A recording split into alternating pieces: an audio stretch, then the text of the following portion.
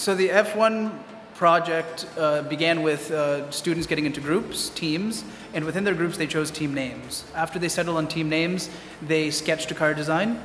After this, they went to um, the computer lab, and the graphic designer got to work coming up with the final draft of the design. There was also a logo designer in each group, and they designed the logo for their team.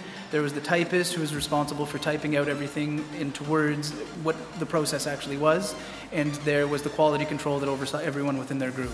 And at the end, they worked together and using the teamwork and using the cooperation strategies already in place from the start, they successfully designed, and actually got to race their cars when they went on the uh, field trip to F1. I am a typist and my job is to uh, type three things for our team. Number one, team name. Number two, team colors. Number three, car design. Uh, we all uh, make our ideas by ourselves.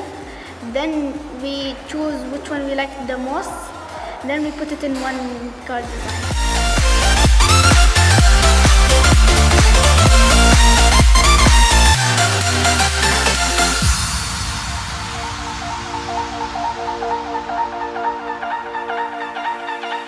Think the building part of the class was the, the challenging bit because we had no real instructions. We had to work as a team together. The kids had to figure it out.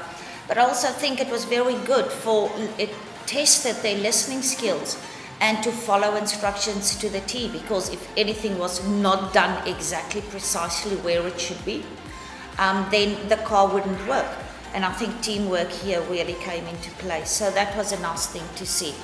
Um, the designs, the children were really creative, and I was quite surprised though that they came up with excellent and fitting car names, team names, and the cars were really colorful and beautifully designed and assembled at the end of the day.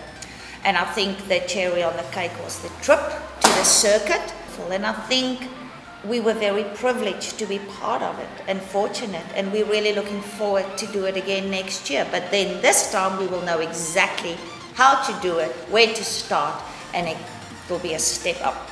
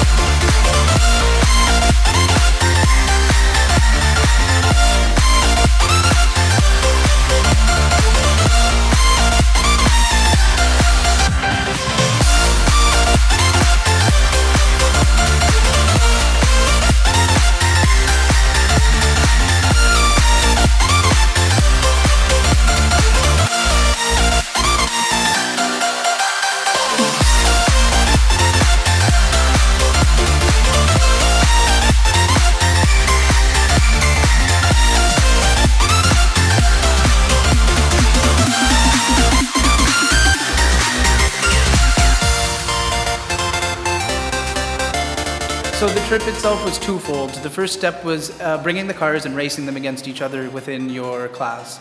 And uh, the students got to see who had the best track time, also who had the fastest reaction time, so when they were pushing the trigger, um, which student uh, was the best at very quickly pushing it.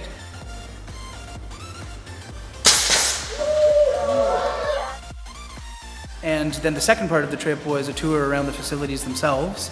And uh, the tour guide told interesting facts and information about the circuit. And the students actually got to sit in an F1 car um, to make it more practical and hands on. And in addition to that, they got to go to the control room where the marshal was. So it all told, it was part racing and it was also part learning about the actual circuit itself.